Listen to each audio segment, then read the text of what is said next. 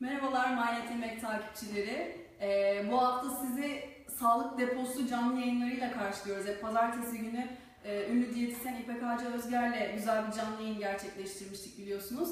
Şimdi de Fermente Mutfağın kurucusu Ferda Hanım'la birlikte e, bu canlı yayında elma sirkesi, çiğ elma sirkesi yapacağız Evet, değil mi? doğru. Hoş geldiniz. Ferda Hanım e, kendini bize biraz tanısın, tanıyalım. Yoğurtlardan, probiyotiklerden sonra sirkelere de geçiş yapalım dedik. E, işin mutfağında, işin aşçısından tam isminden öğrenmek istiyoruz. Asıl asıl tarifini. Zaten tarifini de kendisi bizimle paylaşacak. Ee, inşallah daha da fazla canlı yayınlarda kendisini görüyor olacağız bu süreçten sonra. Buyurun Hanım. Bugün ne yapacağız? Bugün ne yapacağız? E, Fermente Mutfağımın orijinal elma sirkesi tarifi var. E, bizim ürünlerimiz arasında en çok istek alan, yok satılan bir üründür bu. E, bundan bahsedeceğiz, bunun tarifinden bahsedeceğiz. Neden e, bunu yapıyoruz, bundan bahsedeceğiz. Peki Detaylıca sizin, anlatacağız, sorulara cevap vereceğiz. burada evet yapacağız aynı zamanda. Peki sizin sirke tarifinizin diğerlerinden, bizim evde yaptığımız sirkelerden ne farkı var? Aslında çok bir farkı yok ama fark şurada tamamen e, doğal olması. Yani içerisine herhangi bir şey eklemememiz. Nohut, bulgur, e, efendim ne bileyim bal, reçel, e, pekmez vesaire şeyler eklendiği için genelde ev yapımı sirkelere ben kendi tarifimi yaratırken elma ve suyla bu tarifi oluşturdum. Tabii ki bunun için bir maya gerekiyordu. Bu mayada daha önce kur- kurmuş olduğumuz doğal fermente sirkenin kendisi ya da sirke anası olması gerekiyor. Bu görmüş olduğunuz sirke anası. Sirkenin içerisinde doğal olarak kendisi oluşan bir sirke mayası da diyebiliriz biz buna aslında. E, sirkede oluşma süresi 2-3 ay sürüyor. Bu bir kere oluştuktan sonra e, her zaman kullanabileceğiniz bir sirke mayası haline geliyor. Yani bir sonraki sirkenizi kurmanız için bu maya yeterli oluyor. Bunun dışında zaten e, elmaya ve içme suyuna ihtiyacımız var. Yani içme yoğurt suyu bu arada getirmedik herhalde buraya. Onu da hemen isteyelim hemen isteyelim. tamam. E, yoğurtta kullandığımız gibi yoğurdun kendi mayasıyla, yine Hı hı. sirkenin kendi mayasıyla sirkeyi yapıyoruz Evet, aslında. Yani sirke mayasının şöyle bir avantajı var. Sirke asedik asit fermentasyonuyla meydana geldiği için içerisinde herhangi bir bakteri üremesi, patojen üremesi söz konusu olmuyor. Gerçek sirkeyi elde etmişsek ama elde etme sürecinde mikroplara maruz kalmışsa, yeteri kadar güçlü değilse ortamdaki bakteri, o zaman tabii e, çürümeler, küflenmeler, mantar oluşumları, üstte bunları kendini belli edebiliyor. Bu sirkeyi artık tamamen çöp olarak değerlendirmemiz gerekiyor. Fermentasyonla ilgili tariflerde kek tarifi gibi düşünmememiz gerekiyor. Yani işte ben hani kekte nasıldır bir bardak şundan bir bardak bundan üç yumurta bilmem ne koyarsınız olur. Ama fermentasyonda başrollerde olan şeyler malzemeler olduğu kadar bakteriler de başrollerde. Yani bakteriler burada asıl işi yapan. E söz konusu mikro canlılar olduğu için ortamdan, e, şişeden, kaşıktan, tahtadan, oradan buradan bulaşma son derece e, olası. Bu bulaşmalar sonucunda da içerisinde istediğimiz e, bakteriler yani sirke bakterisi zayıf kalıyor. Diğer mikroplar ürüyor. İşte o zaman sirkem şöyle oldu. Sirkem küflendi. Bunların sebebi bu. En çok aldığım sorulardan bir tanesi bu. İşte sizin tarifinizin aynısını uyguladım ama sonuç sirkem küflendi. O yüzden e, hijyen çok önemli. Fermente ürünlerde hijyen çok önemli. Biz bu sirkeleri yaparken mesela hiçbir şekilde, hiçbir aşamasında plastiğe temas ettirmemeye çok özen gösteriyoruz. Ana prensiplerimizden bir tanesi asla plastiğe temas etmeyecek, asla tahta kaşık gibi üzerinde bakteri üremesine e, çok yatkın olan malzemeden herhangi bir ürün kullanılmayacak. Sirke yapına, yapımına başlamadan önce de mutlaka dezenfekte etmemiz gerekiyor. Yani bu dezenfekte dediğimde tabii ki hastanelerdeki dezenfekte malzemeleri gelmesin aklımıza. Yine bizim kendi sirkemizden bir dezenfekte malzememiz var limon sirkesi. Limon kabuğu sirkesi olarak fermentemutfağım.com blogdan ar- ararlarsa takipçilerimiz çok rahat ulaşır onun tarifine de. O zaman tarife geçmeden hemen sizin iletişim bilgilerinizi de verelim. Fermente Mutfağım Facebook, Instagram aynı. Nokta konumun uzantınızda da yine Evet. e, tariflerinizi ve içeriklerinizi giriyorsunuz. Zaten e, bazı tariflerinize Maynet Yemek'te de ulaşacaklar. Şimdi biz sizden soruları alalım e, ve Ferda Hanım da yapmaya başlasın. Eş zamanlı olarak ben de soruları size ileteyim. Nasıl başlıyoruz? Dediğim gibi öncelikle en önemli şeylerden bir tanesi hijyen. Mutlaka sirkeli suyla kullanacağımız malzemeleri yıkamamız gerekiyor. Ya da e, kavanozunuzu, kuracağınız kavanozunuzu vesairenizi kaynar suda birkaç dakika bekleterek de bu hijyeni sağlayabilirsiniz. Kullanacağımız bıçak, kullanacağımız tahta, e, kaplar hepsi son derece temiz olmalı hijyenik anlamda. Bu hijyen işin içine girdiği zaman biliyorsunuz bizim e, hanımlar olarak takıntılarımız da işin içine giriyor. Çamaşır suları, deterjanlar. Bunlar kesinlikle kaçınmamız gereken şeylerdir fermentasyon ürünlerde. Bunlar zehir gibidir. Asla o bakteriler o kimyasalların içerisinde üreyemez. O yüzden bunları temizlerken, yıkarken mutlaka e, sirkeli suyla dezenfekte edeceğiz ya da kaynar suyla herhangi bir deterjan, herhangi bir kimyasal kullanmamaya çok özen göstereceğiz. Bunun dışında elma seçimimiz çok önemli. Çünkü biz sadece suyla elma sirkesi yapıyoruz. İçerisine tatlandırmak için bal vesaire şunu bunu eklemediğimiz için son derece tatlı bir elmaya ihtiyacımız var. Ekşi, mayhoş elmalarla sirke olmaz. Kesinlikle tatlı elma olması gerekiyor. Bunun dışında bir önemli hususta aldığımız elmanın zirai ilaç kalıntıları barındırmayan bir elma olması gerekiyor. Bunu nasıl sağlarız? Ee, güvendiğiniz kendisi ekip dikip biçen yerlerden olabilir ya da organik sertifikalı elma olabilir ya da iyi tarım sertifikalı elmalar olabilir. Bunlar da dışarısında herhangi bir mum olmaz ve dediğim gibi pestisit ya da herbisit kalıntısı yani zirai ilaç kalıntısı üründe olmaz. Ee, bu kalıntılarda dediğim gibi bakterilerin üremesini engelleyen e, sonuçlar meydana getiriyor. Ayça Hanım sormuş zaten siz cevapladınız her türlü elma olur mu diye. Evet tatlı elma seçeceğiz mutlaka. İlaçsız ve tatlı elma diyerek onu küçük tamam. iki kelimeyle bir cümleyle ifade edelim. İlaçsız ve tatlı elma dedik. O zaman başlayabiliriz. Evet. Kullanacağımız malzemelerinde mutlaka çelik, cam, porselen ya da iyi kalite yemek için, gıda için üretilmiş silikon olması gerekiyor. Neden plastik değil, neden e, tahta değil? Çünkü dediğim gibi mikrop, bakterinin üremesine zemin hazırlamayacak. Zaten gıda kodeksinde biz e, gıda tarıma bağlı olarak çalıştığımız için onların da gıda hazırlamada önerdiği şeyler içerisinde asla tahta yok. Tahta ette bile artık yasaklanmış durumda. Fermente ürünlerde tahta kaşığı kullanmamaya çok dikkat etmemiz gerekiyor. E, malzemelerimizi hijyenik bir şekilde hazırladık. Ondan sonra yapmamız gereken şey elmaları doğramaya başlamak. Elmaların kabuklarını soymuyoruz. Burada bir önemli detay daha vereceğim. Elmaları sirkeye başlamadan bir birkaç saat önce yıkarsanız kuruması gerekiyor. Elma tamamen kuru olacak. Bunun önemi de şu. Her meyve sebzenin dışında doğal florası var. Elmanın da var. Doğal florası üzerindeki bakterilere ihtiyacımız var. Buradaki yapacağımız sirkede. Bu bakterilere ihtiyacımız olduğu için elmalarımız kuru olacak. Bakteriler tekrar etrafında oluşmuş olacak. Sonrasında yapacağımız şey bunu küçük küçük dilimlemek olacak. Küçük küçük dilimlemenin de bir önemi var. Ne kadar küçük dilimlerseniz bakteriler o kadar hızlı çalışır. Elma sirkeniz o kadar hızlı olur. Yani bunu tutup da böyle attığınız zamanki elma sirkesi olma süreciyle minik minik dilimlediğiniz zamanki hatta rendeleyebilirsiniz. Biz şu anda büyük olarak büyük çelik kazanlarda yaptığımız için sirkelerimizi makinede rendeliyoruz mesela. Ama ben evde küçük küçük doğrayarak yapıyordum bu sirkeleri. Dediğim gibi mümkün olduğunca doğrayabildiğiniz kadar küçük doğrarsanız sirkeniz daha hızlı sirkeleşme yapacak. Yani kabaca böyle burada göstermek gerekirse sirke elmaları minik minik doğrayacağız. Arjantin'den bir takipçiniz var. Tariflerinizi çok seviyormuş. Teşekkür ederim. Yurt dışından çok fazla takipçim var. Sağ olsunlar ürünlerimizi de istiyorlar ama yurt dışına henüz ürün gönderme gibi bir girişimimiz olmadı. En çok sorulan sorular var bu sirke ile alakalı. Ee, işte sirke ya da şey olmadan sirke yapabilir miyiz? Yani maya, sirke anası olmadan. Dediğim gibi tamamen doğal bir tarif olduğu için içerisine bal, şeker vesaire katmadığımız için elmanın kendi şekeriyle yaptığımız için e, sonuçta da sirke içerisinde de hiçbir şeker kalıntısı olmuyor. Elmanın şekerini de bakteriler tüketiyor. Sonuçta bize çok güzel, sağlıklı, içimi hafif, böyle asitli meyve suyu gibi diyeyim size. O kadar lezzetli bir sirke çıkıyor ki ortaya. E bunun içinde tabii ki bu e, fermentasyonu gerektirecek bir mayaya ihtiyacımız var. Bu bakterilerin bu, burada çalışması için bir başlangıca ihtiyacımız var. O başlangıcı da sirke anamız sağlıyor bizim için. Bu da zaten dediğim gibi sirkenin içerisinde oluşan bir şey. Bu da tamamen bir sirkenin en yoğun şekli diyebiliriz buna. Gönül Hanım ağaçtan yere düşen elmalardan yapabilir miyiz demiş. Tabii yapabilirsiniz. Ee, gayet de güzel olur.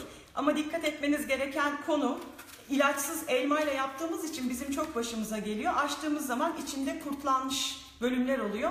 Sakın sirke yapacağız. Nasıl olsa bunların hepsi bir şekilde kavanozda zaten çürüyor şeklinde düşünmeyin. Bereli kısımlar, kurtlu kısımlar, ezik, büzük yani bu kısımları ben kesinlikle çıkartıp atıyorum.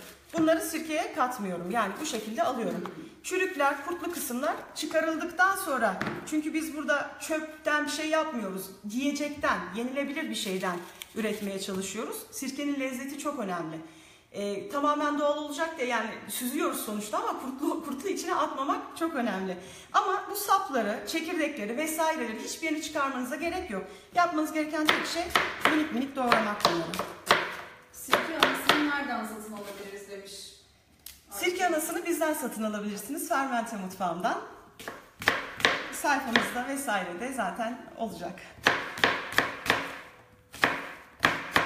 Benim bu maceralarım tabii evde aynı şu anda beni takip eden e, değerli hanımefendiler gibi kendi aileme, kendime sağlık problemlerimden dolayı e, yola çıkarak araştırmalarımla tariflerimle ortaya çıktı. Bunları eşimin, dostumun, etrafımın işte neden bir blog açmıyorsun, neden bunları yazmıyorsun demesiyle blog e, açıp bunları yazmaya başladım. Sağ olsunlar çok fazla takipçimiz oldu. Zaman içerisinde Ferda Hanım siz yapıyorsunuz, bizim zamanımız yok, bize de gönderin vesaire diye talepler doğrultusunda şu anda bunu profesyonel olarak yapıyorum. Ve Türkiye'nin her tarafına kendi sirkemizi gönderiyoruz. En çok talep gören ürünlerimizden de bir tanesi. Birçok kişinin pek çok sağlık problemini bununla çözdüğünü çok yakından biliyorum. Kendim de bunlardan bir tanesiyim. Çünkü bağırsak florasını iyileştirmeden hiçbir hastalığın üzeri, üstesinden gelemiyoruz. Şişkinlik, kabızlık, yani cilt problemleri bile egzama mantardan tutun da e, birçok hastalık aklınıza ne geliyorsa işte bunlar bağırsaklarımız yani ikinci beynimiz olan bağırsaklarımızın florasının bozukluğundan kaynaklanıyor. Bu florayı düzeltmek için de çok önemli olmazsa olmaz birkaç ürün eklememiz gerekiyor beslenmemize. Bunlardan bir tanesi doğal fermente çiğ elma sirkesi, bir tanesi kemik suyu, bir diğeri lahana turşusu ya da probiyotik olarak kurulmuş turşular. Bunların hepsi beslenmemize dahil edilirse kısa süre içerisinde net cevaplar almaya başlıyoruz vücudumuzla ilgili. Ee, bu noktada aslında aklımda bir şey Nasıl? daha vardı İki benim. yıl önce başladınız değil mi? İki yıl önce başladım Yani yani, aslında iki yılı da çok- geçti. Siz de çok sağlıklı beslenen biri değildiniz. Yok hiçbir şekilde değildim. Aydınlandınız. Evet. yani tamamen şöyle diyebilirim marketten beslenen biriydim. Yani market arabasıyla girdiğim zaman komple o paketli gıdaların he- her birini ben alırdım. Yani dondurulmuş pizzalar, etler, ne bileyim konserveler vesaireler hiçbir şekilde sebze bile yapmayan biriydim. E tabii ki bunlar bir yere kadar sizi götürüyor. Bir yerden sonra hastalıklar başlıyor. Ciddi olarak 30 yıl sürmüş bir alerjik, kronik bir alerji e, sahibiydim ki yazın kortizon iğneleri artı tekrar hapla ancak ayakta durabiliyordum. Yaz kış alerji e, tedavisi görüyordum yani. Tedavi dediğimiz hap biliyorsunuz sadece baskılıyor bu hastalığı. Başka hiçbir şey yapmıyor. Onun dışında ciddi migren ağrıları çeken bir insandım. E zaten kilolar vesaireler bir sürü şey. İşte bunların hepsinden kurtulmak için bir yol aradım. Diyetler bir yere kadar. Yaptığınız diyetler size verdiğiniz kiloları iki kat almayla geri dönüyor. O yüzden ne yapabilirim, hayatıma nasıl oturtabilirimin arayışına girdim ve sağlıklı beslenmenin e, anahtarlarını bulmaya başladım. Mutfağımdaki her şeyi değiştirdim, her şeyi, her şeyi atıp yerine doğalını, evde yapımını, kendim nasıl yapabilirimini koydum. Ve bunları dediğim gibi e, fermentemutfağım.com'da bütün tariflerime ulaşabilirler. Bunları sonra bir adım daha ileri götürüp profesyonel bir e, mutfak yaptım kendime. Fermente mutfağımda bu şekilde doğdu, talepler doğrultusunda. Bu hikayelere yayın boyunca devam edeceğiz. Ee, İlker Bey sormuş. Sirkenin üstünde siyah siyah katman olmuştu. O nedir acaba? Bozulmuş mu demek oluyor? Siyah siyah katman muhtemelen küftür İlker Bey. Bunu nasıl anlarsınız? Bakın sirke anasının yapısı aynı deniz anası gibi diyeceğim. Dağılmayan bir bütün. Sirke anasıyla küfü ayırt edeceğimiz en pratik yöntem bu. Parmağınızı ya da kaşığınızı değdirdiğiniz zaman o sirkenin üzerine eğer küfse o dağılır. Ama anaysa dağılmaz. Bir bütün şeklinde muhafaza eder kendisini. Zaten siyah olması da ayrı bir düşündürücü. Yani siyah olmaz. Çünkü sirkenin suyu ne renkse aşağı yukarı o renk olur. Mesela vişneden sirke yaptığınız zaman beyaz bir ana beklemeyin. Vişnenin renginde opak bir e, ana oluşur. Ama elma sirkesindeki oluşacak ananın rengi aşağı yukarı budur. Yani e, burada küf olmuş olsa bu zaten dokunduğunuz anda parçalanıp dağılır. Bu şekilde sirkelerinizin üzerindeki küf mü ana mı tespit edebilirsiniz kaşıkla dokunarak. Bir sonraki aşamamız nedir Hanım? Bir sonraki aşamamız cam kavanoza bunları yerleştirmek olacak. Hepsini dolduracağız doğramış olduğumuz sirkeleri. Ne kadar ufak doğrarsak elmayı fermente hızı Süresi orada evet. hızlanıyor. Tabii burada yapmamız gereken e, sirke anamızı da tekrar bunun içerisine almak olacak. Şu anda daha önce bizim yapmış olduğumuz fermente mutfağımda hazırlamış olduğumuz sirkemizin e, anası burada. Bunu içine katacağım. E, eğer sirkenizin anası yoksa diğer bir önceki sirkeden ya da almış olduğunuz doğal fermente çiğ sirkeden de kullanabilirsiniz. Ya onu da göstermek amacıyla söylüyorum. Şu anda kullanıyorum. İkisini bir arada kullanmanız şart değil. Hangisi elinizin altındaysa onu kullanın. İkisini bir arada da kullanabilirsiniz. Yani bir sakıncası olmaz. Onun dışında tekrar aynı şekilde elmaları hepsini şimdi doğrayamadığım için hepsini doğramama gerek var mı Tuba Hanım? Yoksa bu kadar yeterli göstermek için yaptığımız için.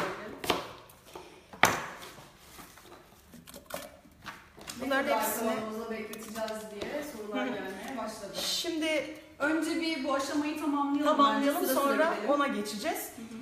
Bunun e, elmaların mümkün olduğunca kullandığınız kavanozun ebatı 8 litrede olsa, 5 litrede olsa, 1 litrede olsa, 2 litrede olsa asıl dikkat etmeniz gereken ölçü elmaların mümkün olduğunca yarıya kadar gelmesi. Yani su oranı üzerinde çok fazla su değil, elmanın kendisinin çok olması. Şimdi biz burada gösterdiğimiz için hepsini tek tek doğrayarak zamanınızı almak istemediğim için elmaları getirmedim. Ama bunu buraya kadar geldiğini düşünmemiz gerekiyor.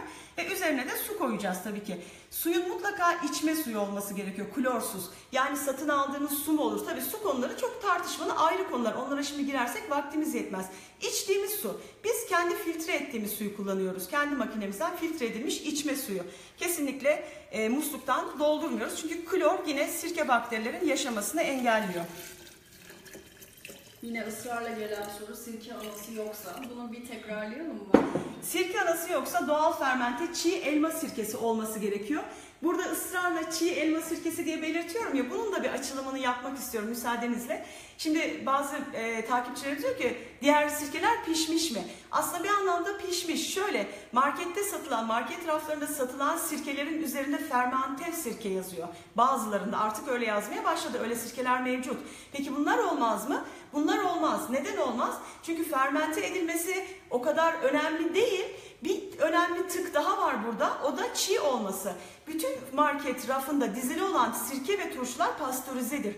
Pastörize işleminde biliyorsunuz ki belli ısılarda yapılır. 65 ile 70 derecede. Bu derecelerde de hiçbir bakteri yaşayamaz. Sirke bakterileri ölür.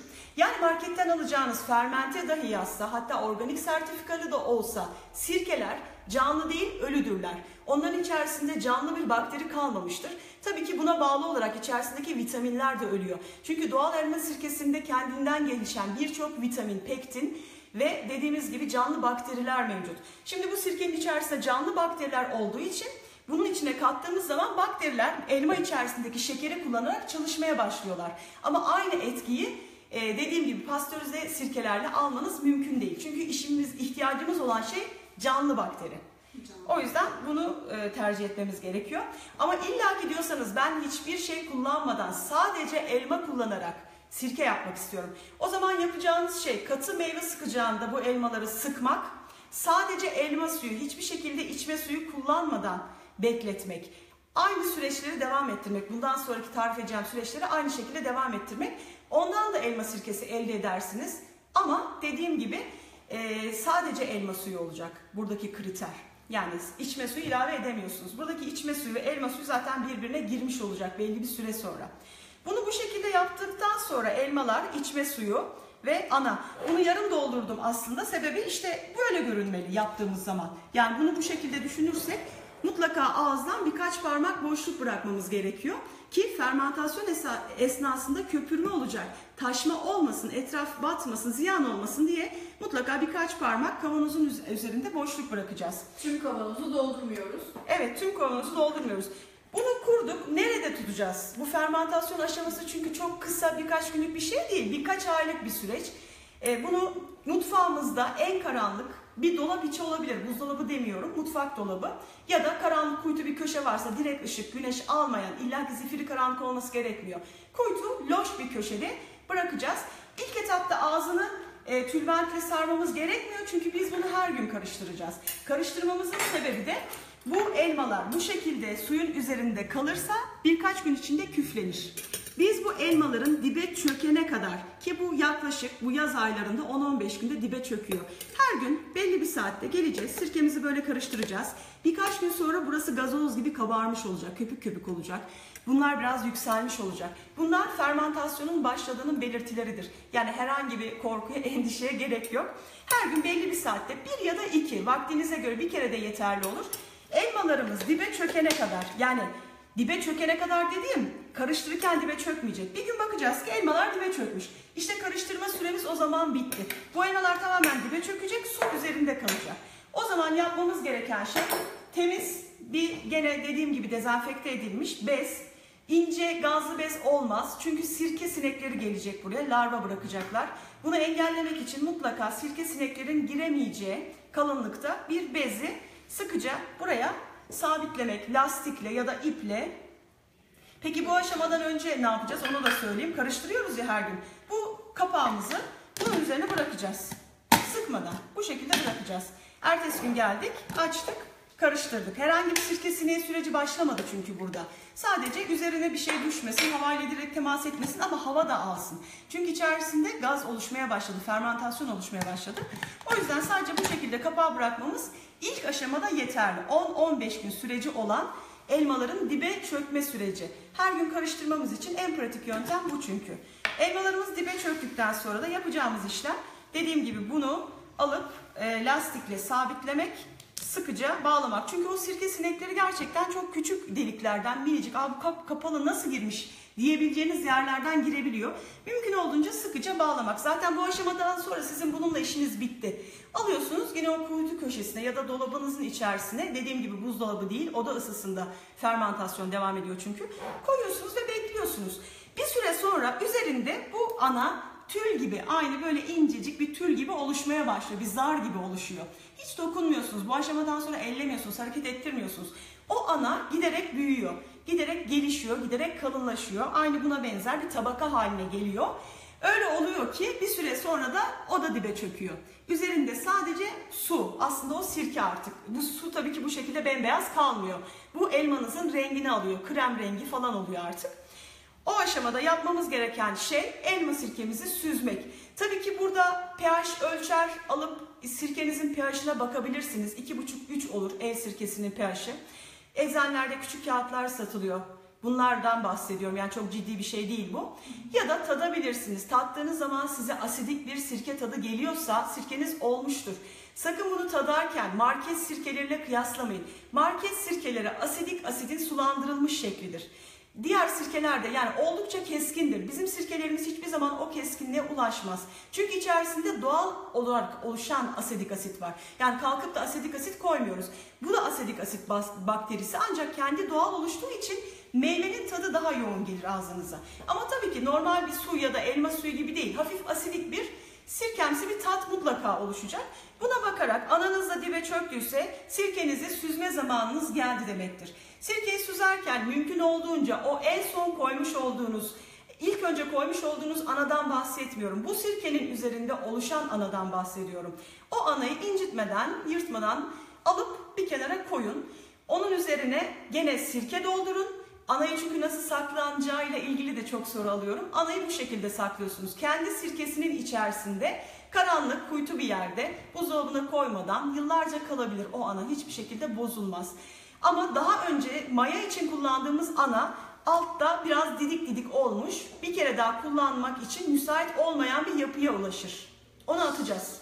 Ee, Gülümser Hanım söylemiş, biz bu tepkiyi hep alıyoruz. Metal kaşık değil, tahta kaşıkla karıştırması gerekirdi. İşte bu çok yanlış bir bilgi. Maalesef geleneksel olduğu için tahtanın sağlıklı olduğu düşünülüyor. Ama artık bu bilgilerin e, kulaktan dolma ve yanlış olduğu birçok yerde açıklandı, birçok uzman tarafından belirtildi. Kesinlikle tahta kaşık kullanırsanız tahta kaşık her türlü bakteriye açık bir yapıdadır. Üzerindeki bakterileri temizleyemezsiniz. Yani bu e, şeyi belki suya tuttuğunuz zaman pek çok şeyden arındırıyorsunuz ama tahta böyle değil. Tahtanın yapısı mikropları içerisinde barındıran bir yapıya sahip. Siz bu tahtayı her içine soktuğunuzda o mikropları da sirkenize sokacaksınız. O mikroplar buna her karıştığında sirkeniz küflenecek. Ondan sonra işte sirkem neden küflendi? Sirke bunun için küflenir. Ekşi maya yapıyorum olmuyor, küfleniyor. Bunun için küfleniyor. Bu tahta kaşık olayını fermente gıdalarda kesinlikle bir kenara bırakmamız gerekiyor. Mutfakta tahta kaşığın, kaşığın kullanılacağı tek bir alan var. O da pişirerek hazırladığımız yemekler. Burada işin içerisine ısı girdiği için tahta kaşıktan bulaşan herhangi bir mikrop ya da patojenin yemekte var olma şansı yok. Ama bu gibi fermente ürünlerde ısı yok işin içerisinde. Direkt mikropların üremesi için ortam hazırlıyoruz biz. İşte bu ortama katacağımız ekstradan kötü bakteriler de üreyebiliyor. Bunu engellemek için bizim tamamen temizliğe ve hijyene açık olan ya paslanmaz çelik ya cam ya seramik kullanmamız gerekiyor. Bu malzemelerin dışındaki malzemeler kullanılmaz. Plastikte asla sirke yapılmaz. Bunun sebebi fermentasyon esnasında oluşan asit, biraz önce bahsettim asedik asidin aynı ısıyla temas ettiğinde plastik nasıl için için kendi e, dokusunu yiyeceğe bırakır ısıttığınız zaman işte bu asitin asit sayesinde yine plastiğin dokusu bu e, gıdaya bulaşıyor. O yüzden plastikte sirke, turşu gibi fermente gıdalar hazırlanmaz. Yalnızca dediğim gibi cam ve paslanmaz çelikte hazırlanır. İçine tuz ve şeker katıldı mı diye sormuş. Hiçbir Canlı şey katmadık. başına katılmayan izleyicilerimiz. Bunun da cevabını verelim. Hiçbir şey yok. Elma, içme suyu ve sirke anası var. Ne tuz ne şeker. Hiçbir şey katmadık. Hiçbir şey katmıyoruz. Biz sirkelerimizin hiçbir aşamasında tuz ve şeker kullanmıyoruz. Zaten ilk fermentasyonda kullanılmaz. Bazıları şişeledikten sonra tuz katıyor. Tuzu katmanın tek bir faydası vardır. Fermentasyonu durdurur. Ama ben fermentasyonun devam etmesinden e, rahatsız değilim. Çünkü şişelendikten sonra da onun tadı oturmaya başlıyor. O yüzden tuz kullanmıyorum. Gülsüm Hanım sormuş. Başka bir yerde sirke anısı bulamazsanız birkaç tane nohut koyun diyordu. Olur mu acaba? Kesinlikle olmaz. Şimdi biraz doğru bilinen yanlışları yıkıyor gibi olacağız ama bunlar bizim çok hassas noktalarımız. Tahta kaşık ve nohut. Nohut gibi baklagiller sadece pişirilerek tüketilmeye uygun baklagillerdir. Evet nohut fermentasyonu hızlandırdığı için geçmişten gelen nohut kullanma e, adeti var. Bunun sebebi koyduğunuz zaman nohutta belli bir süreç başlıyor ve hemen bu gaz şeyini hızlandırıyor.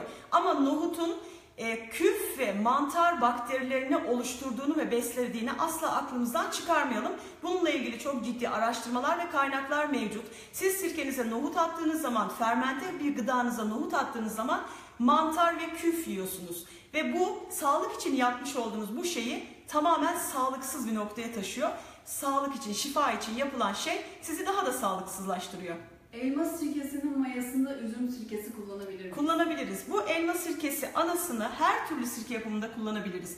Her türlü sirkenin anasını aslında başka bir meyvede kullanırız.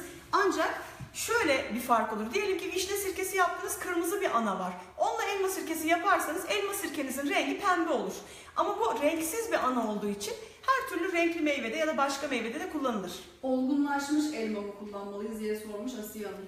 Olgunlaşmış. Çünkü tatlı elma kullanmamız gerektiği için hani meyvenin en tatlı hali olgun halidir. Çürüme aşamasından bahsetmiyorum ama olgun ve tatlı bir meyve olmalı. Sirkeye kurulacak her meyve için bu geçerli. Sadece elma için değil. Şimdi yine kaçıranlar var. Ee, malzeme ölçüleri istiyorlar, miktar istiyorlar ama biz söylediğimiz gibi kavanozun yarısı, e, sıcak su mu olmalı, soğuk su mu olmalı? Bunları tekrarlayabilir Evet tekrarlayalım. Oda ısısında içme suyu olacak. Sıcak ya da soğuk değil ya fark etmiyor. Çünkü sirkemizin fermentasyonu oda ısısında gerçekleşiyor. Oda ısısında içme suyu önceden yıkanıp kurutulmuş tatlı elma, tatlı ve zirai ilaçsız elma. Bunları ne kadar minik doğrarsak sirkemiz o, e, o e, e, hızda fermente olacağı için minik minik doğruyoruz. Kullanırken kullandığımız kapların hijyenine çok önem gösteriyoruz. E, mutlaka yaptığınız kavanozdaki ölçü bu olmalı. Yani elmalar ve su yarı yarıya görünecek kavanozda. Şimdi biz bunu zaman yetersizliği için dolduramadık. Bunu doldurmuş olsaydık şuraya kadar dolduracaktık. Üstten 3-4 parmak açıklık bırakacaktık. Çünkü bu fermentasyon esnasında kabaracak. Taşma olmasın diye bunu bu şekilde yapmamız gerekiyor. Yani birlik kavanozda kullansanız tekrar edeyim 8'lik de kullansanız 5'lik de kullansanız yarı yarıya yapın. Elma yarıda kalsın, su da onun yarısında kalsın. Şimdi canlı yayını yavaş yavaş bitirirken şu süreci tekrarlayalım istiyorum yayına yeni katılanlar için. Ee, ilk etapta yazın 15 gün boyunca elmaları karıştırıyoruz. Hı hı. Çünkü amacımız elmaların dibe çökmesini beklemek. Evet. Bu süreci tekrarlayalım Tuğba Hanım, e, elmaların, elma sirkemizin ya da herhangi bir fermente gıdayı hazırlarken onun olma süreci ortamdaki ısı, nemle direkt alakalıdır. Yani kışın yaptığımız ya da bahar ayında yaptığımız ya da yazın yaptığımız aynı malzemeleri kullanarak yaptığımız sirkeler farklı zamanlarda olurlar. Çünkü her zaman ortamdaki ısı ve nem değişkendir. Ortamdaki kışın ortalama ne deriz? E, Yani yazın birkaç ayda, belki bir ayda bu çökme süresi oluyorsa kışın daha kısa. Bir hafta 10 günde olur. Çünkü ortam sıcak. Ama sirkenin bir olma sıcaklığı vardır. Kesinlikle 28-29 derecelerin üzerinde bir ortamda sirke yapmaya kalkmayın. 28 E, çünkü ekşir. Yani sirkeleşmeden ekşir o, çöp olur. Belli bir ısı. Yani bildiğimiz oda ısısıdır bu. E kışın da tutup da mesela diyelim ki sobalı bir evde oturuluyor. Hiç kullanılmayan soğuk bir yer var. Orada olmaz. Yani belli bir ısı gerekiyor. Mutlaka işte oda ısısı 20'lerde 18, 20, 22, 25, 27 bu derecelerdeki e, ısılardan bahsediyoruz oda ısısı deyince. Tamam yani ortalama yazın, yaz için söylüyoruz. 15 gün boyunca elmayı her gün bir kere Evet. karıştırıyoruz. En son dibe çöktüğünde artık tamam diyoruz. Bırakıyoruz. Hı hı. Sonra Fermente besinler hazırlarken daha çok dediğim gibi hani kek tarifleri gibi değil de beş duyumuzu kullanarak çalışmamız gerekiyor. Yani bu sirkenin karıştırma zamanı elmalar dibe çökene kadar. Bu 10 günde olur, 20 günde olur, bir ayda olur. Bizim buradaki bakacağımız şey elmalarımız dibe çökmüş mü? Çökmediyse her gün karıştıracağız. Yoksa tamamen küf olur üstü. Küf olduğu zaman da bunun artık devam etmenin bir anlamı yok. Direkt çöp olur. Yani her aşamaya dikkat etsek, bunu es geçsek bu sirkeden yine hayır görmeyiz. Tamam şu soruyu yine alıyoruz. Ee, el, sirke anasını nereden bulacağız? Nereden Sirke bulacağız? Nereden bulacağız? Diyelim sirke anası kullanmıyoruz.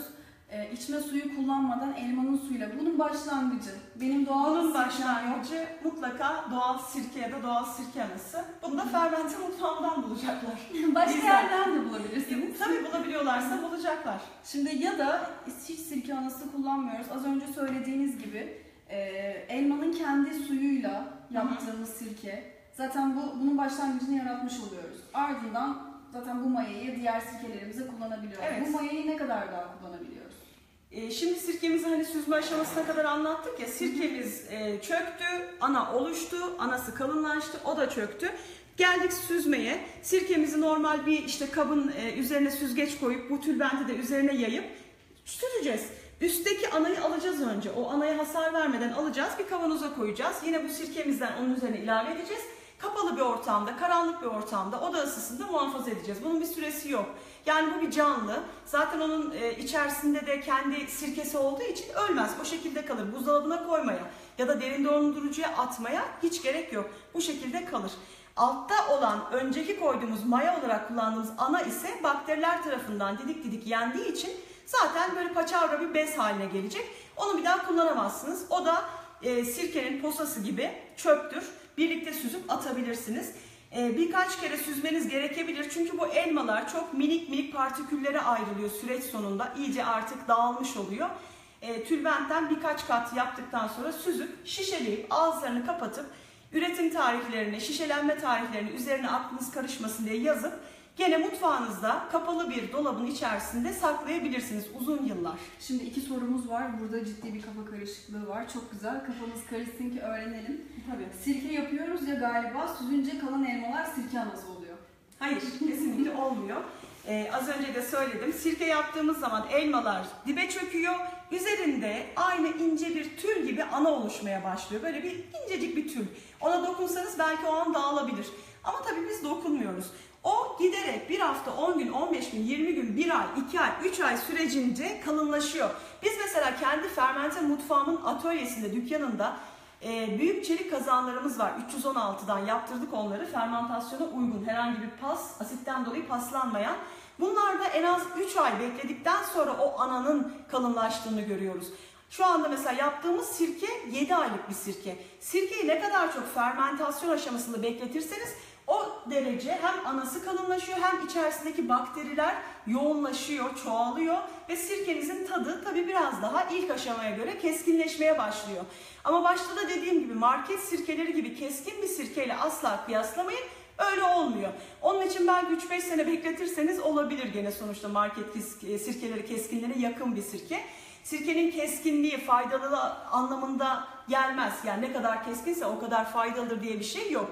Fermentasyon sürecini doğru tamamlamış, içerisinde herhangi bir patojen bulaşmamış her ev sirkesi, çiğ sirke aynı derecede bakteriyi barındırır içerisinde, aynı derecede vitamini, minerali, pektini barındırır içerisinde.